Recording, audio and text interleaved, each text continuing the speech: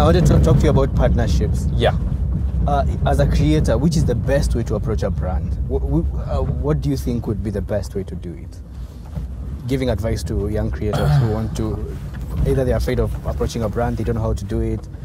Is it purely about numbers? How can you show your value? Okay, it's it's it's a. I feel like it's a hit or miss in over here. Yeah. In my experience, I have seen guys looking at numbers, Mm-hmm. but also then again, I charge a lot. Yeah. So, so, so I think you need to show your value. If you're up and coming, you can share like what ideas you have in mind. I think there's this huge notion of like, oh, if I share my idea, they're gonna take it and give it to someone else. Yeah, they can do that, but like, will that someone else uh, um, execute it as well as you would? As you would. Okay.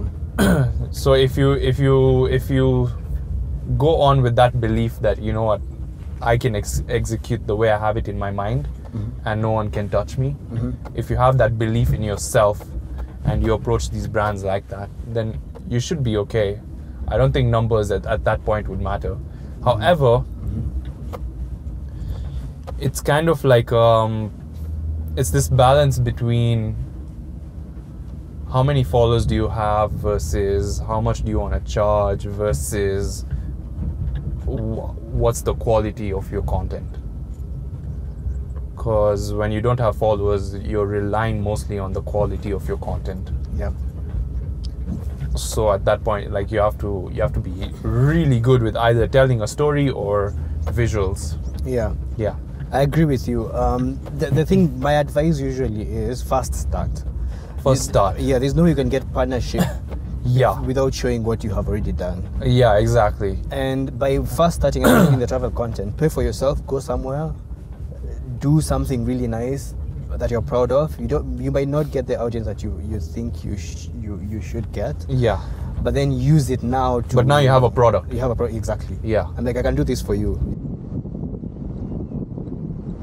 And oftentimes when i'd have that attachment of like needing that business and that fear of like oh what if they don't i would like push to be like okay but i can give you a better price but i can do this. And i would never get a i would never get the client.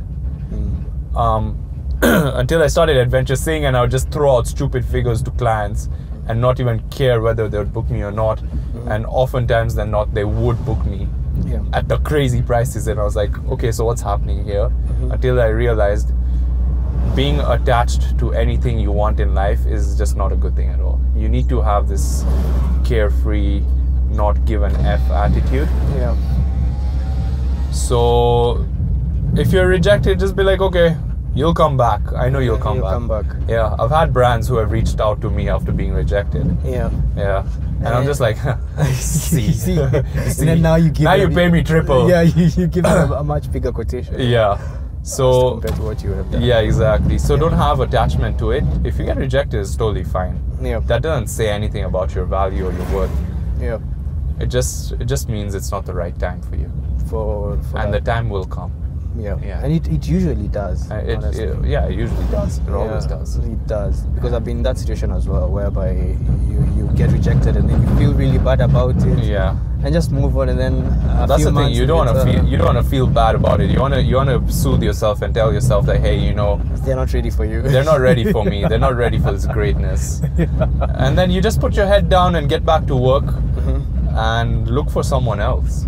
Yeah. Yeah, and then um, as soon as you know it, the other people will come crawling back, and you're like, "Yeah, boy, It's, it's fucked. yeah." We have this attachment to all these outcomes, right? hmm And um, that's why we do all this research. Then we start shooting ourselves in the foot like that. hmm So, I'll give you an example. Two times, I went to Hildana, and I, and I told myself again it was safari based. I told myself I don't care.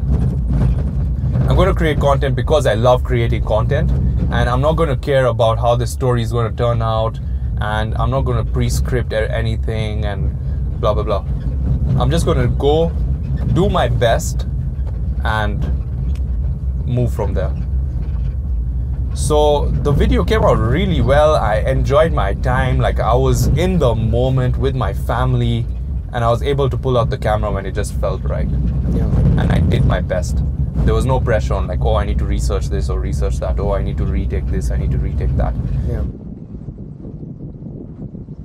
Uh, the ability to believe in yourself. After you've done videos for six years, you have to think back and see that you've gained so much experience without even knowing Yeah. that you don't even really need to script anymore. yes yes And and first of all, you're very natural on camera. Like you don't really think about you it. don't think about it so like you have a chance every week you know what i mean Thank you so much for watching that highlight video. If you want to watch the full conversation that we had on the game drive, uh, click here. I'm going to put it here. Don't forget to like the video, comment, subscribe if you haven't already, or even share with anyone who would be interested in this conversation. Um, it helps my channel and it helps me make more videos like this. Asante. Bye.